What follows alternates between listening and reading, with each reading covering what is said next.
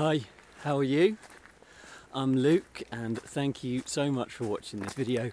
As you may know, I'm a writer and I'm currently out in the national park in Latvia near a place called Sigulda.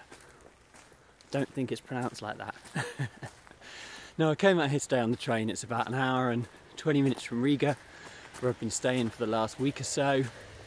Um, I came out here because there's some beautiful castles and some wonderful sort of panoramic views across this beautiful part of the country.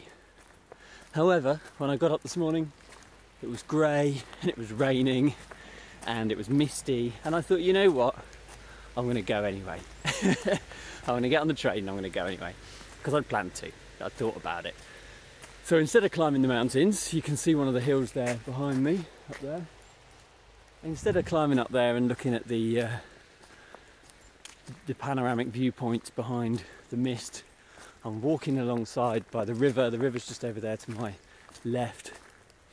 I walk along here for an hour or so, walk back to the little village, the little town that the train stops at, go to a pub, buy a beer, and read a book. I think that's the plan. Oh, car's just coming. Just step in for a moment. I was surprised to see cars on this little track actually because it's a tiny little track that I thought was just for walkers and cyclists and stuff, but that guy powered on past.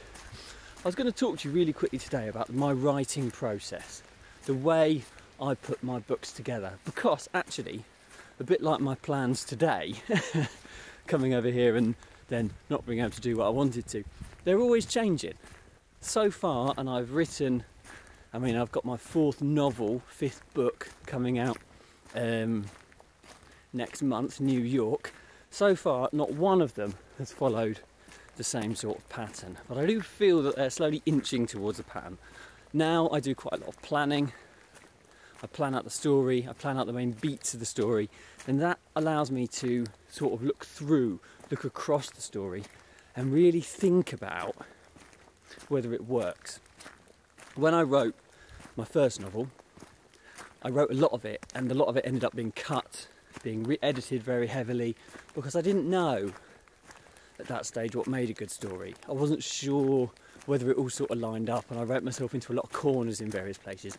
So now, by doing that outline and working that out in advance, I'm able to read through that very quickly and decide whether it works or not. And that's been really helpful. So then, when I actually sit down to write the thing, I can do that quite quickly, I can do that focusing on actually what happens. After that, quite often when I've got that rough first draft, it's normally very rough, I've got that rough first draft, I'll um, put that aside for a couple of months and work on something else. Then come back to that. And that break really allows me to have a bit of headspace, to think about, you know, let those ideas percolate, let those ideas sort of make sense to me. And I'll come back to that a little while later and it will it will seem a lot clearer. And then I might have a couple more read throughs. Then it goes off to an editor. Then it goes to my team of people who, who sort of pre-read, and then finally it gets released. Sometimes that can take months. Sometimes that can take weeks. Other times that can take years. I just don't know. But I'm thinking over time that's getting that's getting quicker, which is a good thing. I mean, I want to be able to write as quickly while still enjoying the process as possible my dream, I've got a dream at the moment. Um, I love travel, obviously. I talked about that in a previous video, and my books show that. Look at this beautiful little cottage here. How nice is that? It's lovely, isn't it? And my um, my books show that.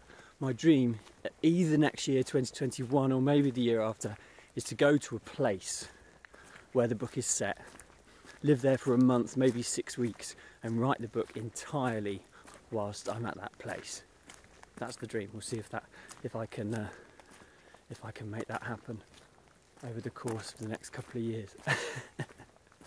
Thanks so much for watching this today. It's lovely to share these things with you and the sort of places that I am. I'm really enjoying that. I hope you're well and I look forward to sharing. Oh, watching out for a puddle. I look forward, looking forward to sharing an adventure in one of my stories with you very soon.